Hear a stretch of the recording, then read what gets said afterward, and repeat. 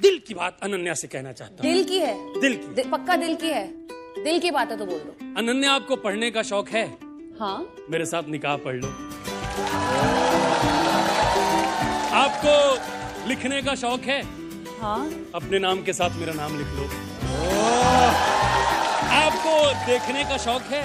हाँ। मेरे साथ जवानी से बुढ़ापा देख लो। और आपको समझने का शौक है? हाँ। इससे बेहतर नहीं मिलेगा समझ समझ, लो। लो, तो मैं हाँ समझू? नहीं।